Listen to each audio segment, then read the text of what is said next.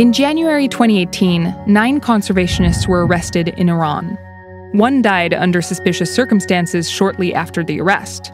Today, the survivors are still in jail, awaiting a verdict in a case that highlights how paranoia about the West is paralyzing science and research in Iran. When Ramin Sayed Emami posted on his Instagram about his father's death in detention, we had no idea that he had been arrested in the first place. And it soon broke out that they had been in detention for about two weeks for years, the Persian Wildlife Heritage Foundation had been using camera traps to track Asiatic cheetahs in Iran's deserts and national parks. The environment was considered a safe space for activism and international collaboration, and they'd never had trouble with the government. But a series of misunderstandings and slanderous rumors made their way to the Revolutionary Guard. The Iran Revolutionary Guard is kind of Iran's shadow government. They're extremely powerful they have a strong military power and they have their own intelligence unit. The IRGC claimed that the PWHF members have used camera traps for collecting sensitive information and monitoring their ballistic missile activities. Four people are charged with sowing corruption on Earth, which is as vague as it sounds and it's a charge that can carry from few years of imprisonment all the way to death penalty.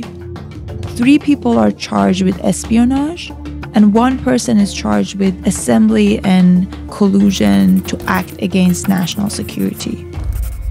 They went on trial in February. Nilufar Bayani, a 31 year old Canadian Iranian conservationist, told the court her confession was obtained under torture.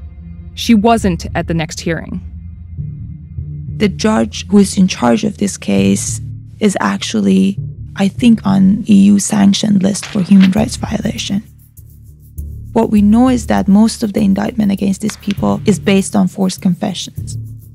Iran's government has even concluded that the cheetah scientists are innocent. But, like Bayani, the other conservationists have strong ties with the West. And the Revolutionary Guard, which is increasingly paranoid about Iranians abroad, refuses to call off the trial. We can argue that there might have been some sort of misunderstanding because one side is paranoid about how the enemies want to destroy them, and another group, on the other hand, who are in love with the nature, spending days in, in the field with their cameras waiting for a cheetah to pass.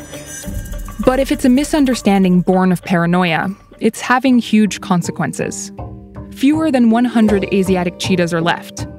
And while their protectors are in prison, other environmentalists live in fear of becoming targets themselves. A lot of Iranian researchers who were collaborating with students and professors inside the country on Iran's environmental and water issues are now paranoid about what might happen to them. You know, these guys have been in jail since January 2018, and now the protectors of some endangered species are endangered themselves, and we're not talking about them.